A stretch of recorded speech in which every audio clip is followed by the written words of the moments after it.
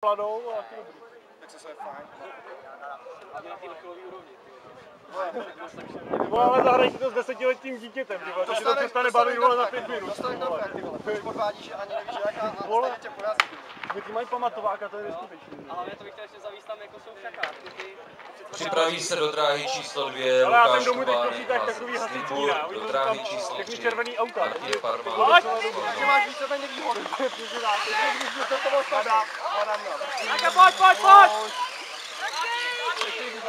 Pohádku, tak to